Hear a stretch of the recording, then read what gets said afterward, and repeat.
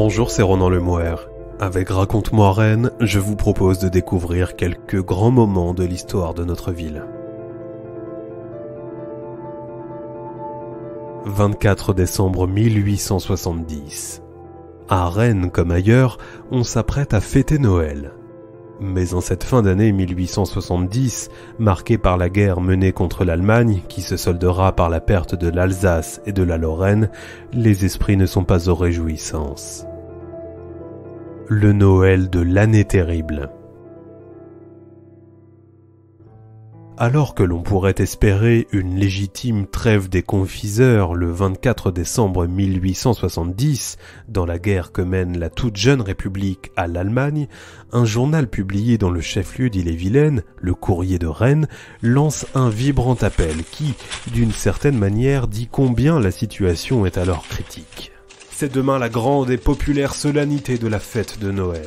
N'est-ce pas le moment de redoubler de ferventes prières pour obtenir du ciel le succès de nos armes, la délivrance du territoire sacré de la patrie, le triomphe sur les sauvages envahisseurs de notre beau pays? Revenant sur cette même période sombre de l'histoire de la France, Victor Hugo parlera même d'années terribles pour évoquer ces quelques mois d'une campagne dramatique soldée par la perte de l'Alsace et de la Lorraine. Autant dire qu'en cette fin d'année 1870, les esprits des Rennaises et des Rennais ne sont pas aux réjouissances. Pourtant, six mois auparavant, rien ou presque ne laissait présager de si sombres heures. Certes, on s'inquiétait des prétentions prussiennes sur le trône d'Espagne, mais tout le monde pensait que la guerre déclarée le 19 juillet se solderait par une victoire sans coup férir. L'armée du Second Empire n'était-elle pas la plus forte du monde? C'était sans compter une mobilisation plus que chaotique et une dramatique bataille livrée à Sedan le 1er septembre 1870. Encerclée, l'armée commandée par l'empereur lui-même est contrainte de se rendre. Napoléon III prisonnier, c'en est fini du Second Empire, et à Paris, la République est proclamée le 4 septembre 1870. Contre toute attente, le gouvernement dit de défense nationale, dirigé par le général morbihanais Louis-Jules Trochu, et au sein duquel siègent les Bretons Jules Simon, Adolphe Leflot et Alexandre Glébizouin, n'entend pas abdiquer, et, au contraire, continue la guerre. Cette poursuite du combat s'effectue dans un degré d'improvisation qu'on peine à imaginer. C'est ainsi par exemple qu'au début du mois de décembre 1870, le préfet d'Ille-et-Vilaine, Ange Blaise, en appelle au tailleur du département qui voudrait se charger de confectionner des capotes pour la garde nationale. Quelques semaines plus tard, au tout début du mois de janvier, la demande se fait plus précise, mais aussi plus pressante. C'est ainsi qu'il concède avoir besoin dans un court délai de 800 pantalons, drap bleu foncé, double bande rouge, type du pantalon d'artillerie de l'armée. Une telle supplique dit bien les difficultés auxquelles sont confrontées ces armées de la République. Aussi, est-ce sans doute pourquoi les Rennais suivent assidûment, en ce Noël 1870, le déroulement des opérations militaires? Il faut dire que nombreux sont les habitants à compter parmi leurs proches un engagé volontaire parti combattre sous le drapeau du 26e régiment de garde mobile d'Ille-et-Vilaine. Il est de même probable qu'un certain nombre d'entre eux n'ignorent rien de la désorganisation complète dans laquelle se trouvent alors les armées de la République. On comprend dès lors aisément ce besoin de se tenir informé du déroulement précis des opérations. C'est là, plus ou moins indirectement, le moyen de garder un lien avec un frère, un fils ou un mari. Et en un mot comme en mille, une manière de se rassurer, alors que chaque jour la situation devient de plus en plus critique. L'armée de la Loire est défaite à Loigny, en Eure-et-Loire, le 4 décembre 1870, et en conséquence, la ville d'Orléans est occupée dès le lendemain par les Allemands. Trois jours plus tard, le gouvernement est contraint de quitter Tours pour Bordeaux. Le 10 décembre 1870, le courrier de Rennes publie la dramatique lettre qu'adresse au maire du chef-lieu du département d'Ille-et-Vilaine Théophile Bidard de la Noé, le futur député Jules Leveillé. Décrivant les campagnes que mène le 26e régiment d'Ille-et-Vilaine à l'est de Paris, dans les environs de Champigny-sur-Marne, ce juriste affirme Nos mobiles de Rennes, de Fougères et de Montfort ont perdu 500 hommes tués, blessés ou disparus. On se doute de l'émoi que doit susciter dans la population ces quelques mots. Sur la scène internationale, la France reste isolée des autres nations européennes et ne parvient pas à trouver d'alliés qui lui permettraient de renverser le rapport de force. C'est ainsi que le 22 décembre 1870, le journal d'Ille-et-Vilaine se résout à un sombre constat. Aucun pays ne veut, ne peut, n'ose lui apporter quelques moyens de défense matérielle ou morale contre la Prusse envahissante, contre cet empire germanique qui sera désormais la terreur de l'Occident si le cours des événements ne se modifie pas dans un sens plus heureux pour la France. Si les nouvelles n'arrivent pas en temps réel, elles parviennent néanmoins à Rennes avec une réalité qui souligne la modernité de ce conflit. En 1870, l'Europe est déjà parcourue par des millions de kilomètres de câbles télégraphiques et la France en compte à elle seule 116 000. Dans le même temps, les communications deviennent de plus en plus abordables et il n'en coûte plus qu'entre 50 centimes et 1 franc pour envoyer un télégramme. En conséquence, le courrier de Rennes peut se permettre d'informer ses lecteurs en reproduisant des dépêches précédemment publiées par de nombreux journaux, parmi lesquels le Times de Londres ou encore le Daily Telegraph. Le paradoxe est que les liaisons avec Paris sont, elles, rendues particulièrement difficiles par la situation militaire. La capitale est assiégée par les Allemands et c'est par ballon que les nouvelles arrivent à être échangées. Le manque d'informations devient alors une source manifeste d'angoisse pour la population. Le courrier de Rennes est d'ailleurs une source précieuse d'informations pour le journal L'Historien, un journal qui permet de prendre la juste mesure du véritable chaos qui s'empare du chef-lieu du département d'Ille-et-Vilaine lors des fêtes de Noël 1870. Notons tout d'abord qu'elle se déroule par un froid extrême, moins 8 degrés enregistrés à 9 heures du matin le 24 décembre. Le 30 décembre, à 6 heures du matin, c'est même une température de 10 degrés en dessous de zéro que l'on relève au thermomètre. La neige succède à la pluie et transforme les rues de la ville en véritables bourbiers.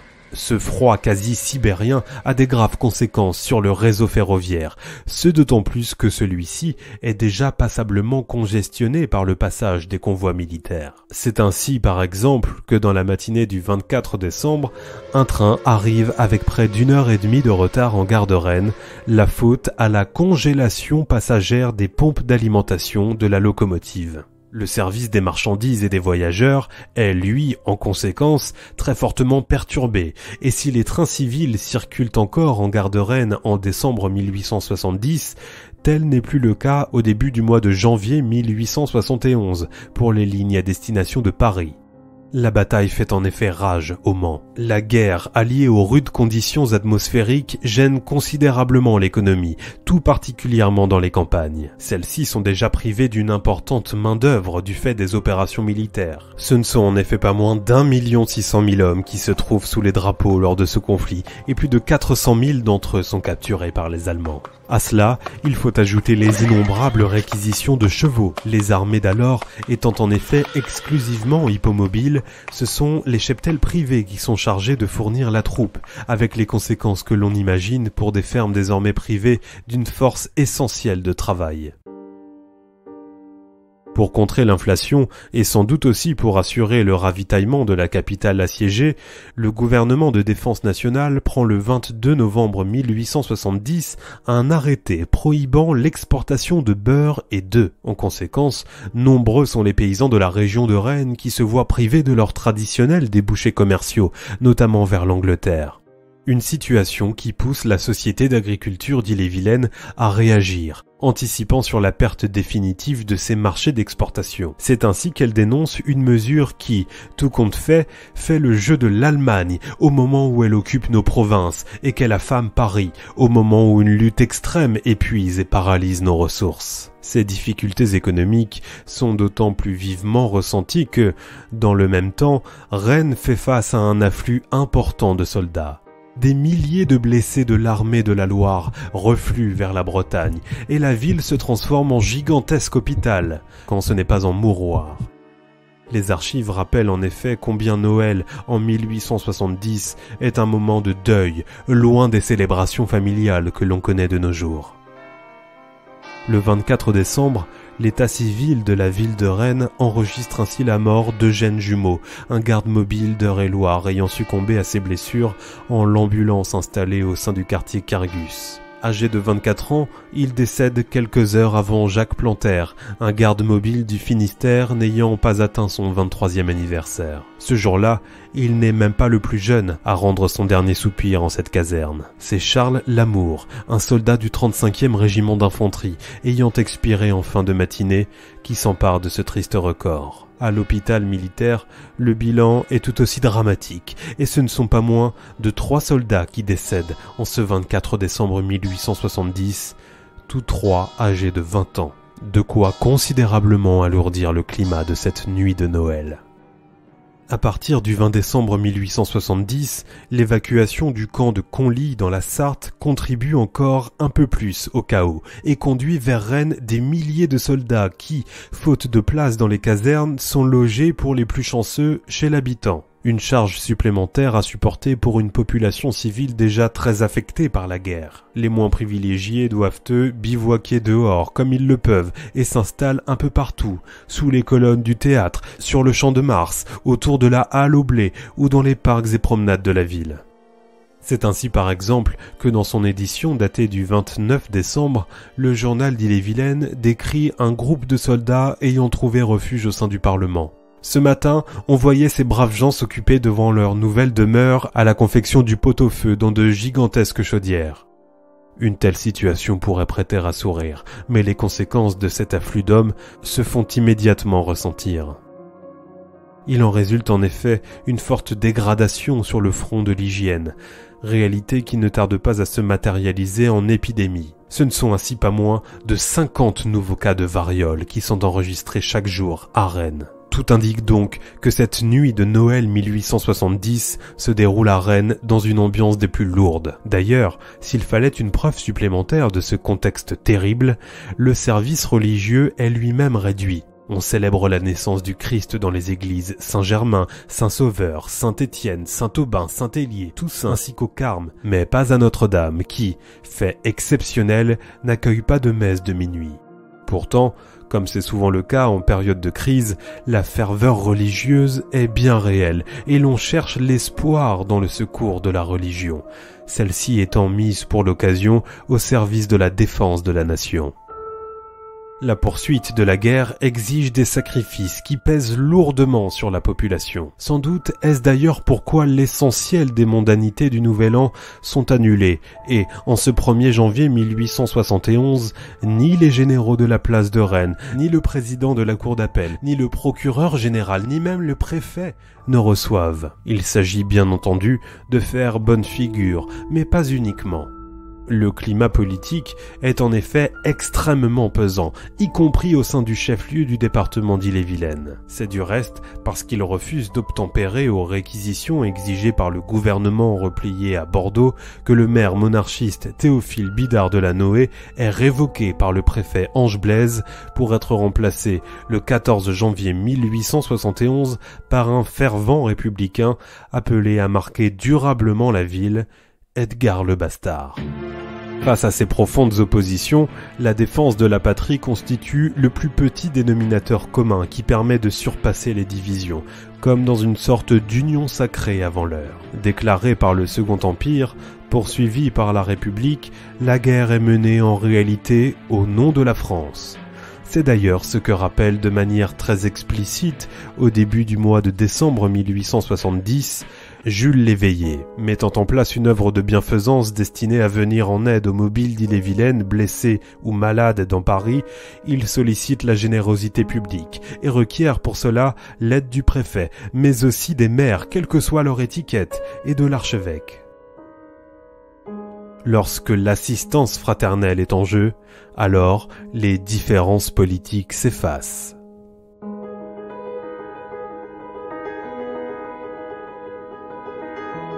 Le Noël de l'année terrible, un récit écrit par Erwan Le Gall, docteur en histoire contemporaine à l'université Rennes 2. C'était Ronan Lemouer, à bientôt pour un nouvel épisode de Raconte-moi Rennes.